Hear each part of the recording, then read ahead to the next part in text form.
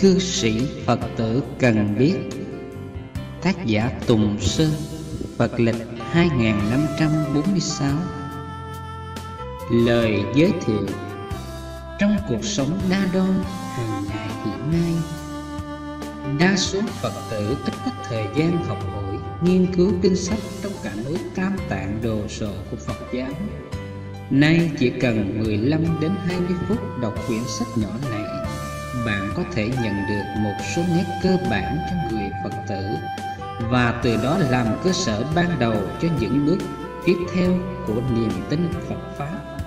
Tôi trân trọng giới thiệu chúng ta cùng nhau văn tư tu tốn tình đồng đạo. Xin cảm ơn Tùng Sơn đã cho xin trước Sài Gòn mùa báo hiếu 2546 vô tướng cư sĩ